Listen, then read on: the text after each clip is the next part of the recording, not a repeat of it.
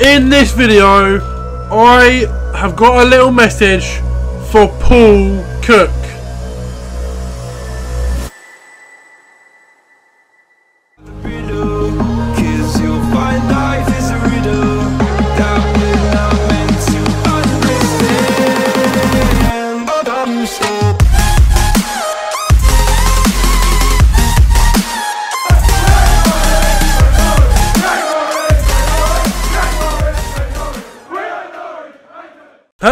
Welcome back to another video now. It is literally quarter to 11 at night and I'm filming a video and I've got a hectic weekend.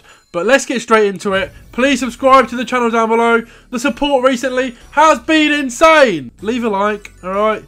All the football vlogs have been smashing the like, so smash this video a like and let's get into the video. So then, Ipswich Town Football Club. This team right here. Team I love and the team I support. Obviously, if you don't know, not so long ago we got taken over by a US consortium, Game Changer 20 Limited, and we've had Paul Cook as our manager for I think I think since March. Blimey, six months. Our last game was against Newport County, in which we did lose 1 0. It was a Carabao Cup fixture and we lost 1 0. Now, recently, I've been scrolling through Facebook, I've been scrolling through Instagram, I've been scrolling through Twitter, and the amount of tweets and posts I've seen regarding Paul Cook's future and regarding Paul Cook's status at Ipswich Town is a joke. And I want to talk about this today in this video because it actually bugs me. It really annoys me seeing all these tweets about Paul Cook and Ipswich Town. So we're going to get up some tweets, we're going to look through some tweets, and we're going to give you my reaction, okay?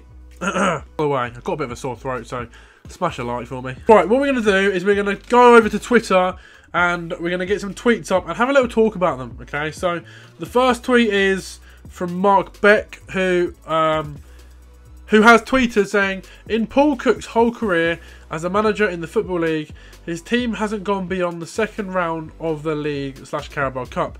Paul Cook has three promotions to his name. That's all I care about. Trust the process and back your manager. In Cook we trust. I completely agree with you, Mark.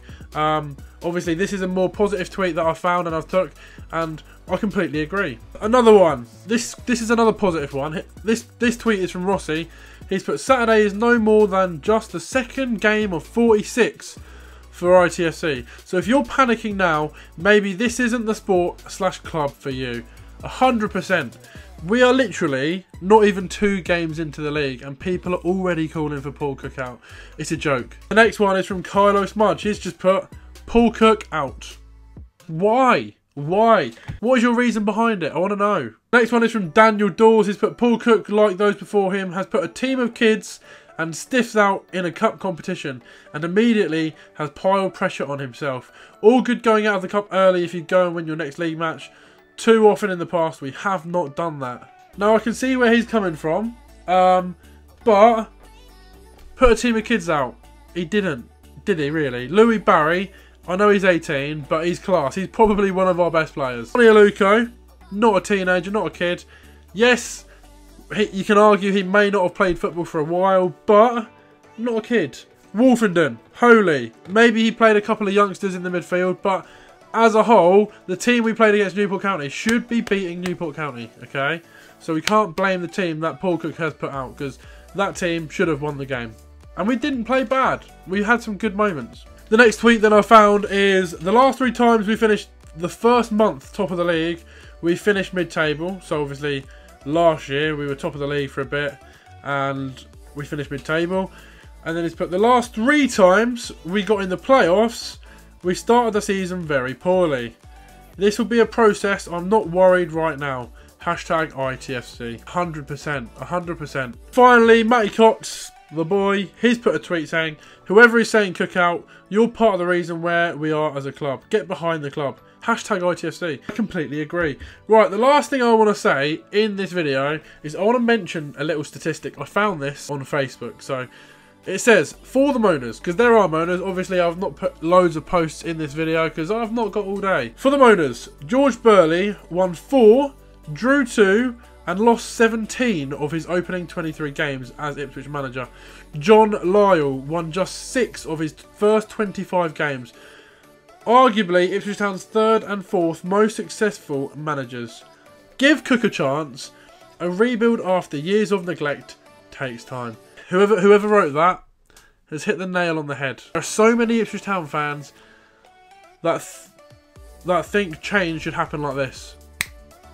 And it doesn't, okay? Because it does take time. We've rebuilt our whole squad and yes, maybe the performance against Morecambe and Newport wasn't how we wanted it to be, but it is definitely improving. It's more entertaining and I am excited for the future. So my message to Ipswich Town fans and to Paul Cook is keep the faith, trust the process, and believe me now, watch this video back at the end of the season and tell me how far we've come. Because I genuinely think this season's going to be a roller coaster, but we will achieve what we are aiming for, which is promotion, okay? Give it time, trust the process, and up the Ipswich Town.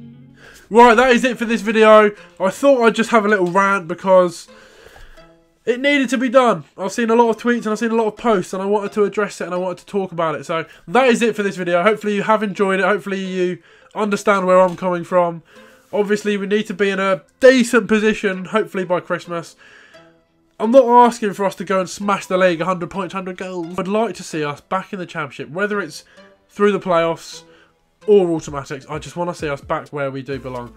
Thanks for watching this video, guys and I'll see you in the next one. Just to let you all know, by the way, I can't make Burton Albion or Cheltenham away, which it's frustrating because I pretty much do every away game, but I've got family commitments and I've got work commitments, so I can't make the first couple of away games. So hope you all enjoy it.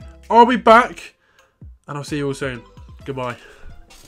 Subscribe to Alex Griffin. Come on.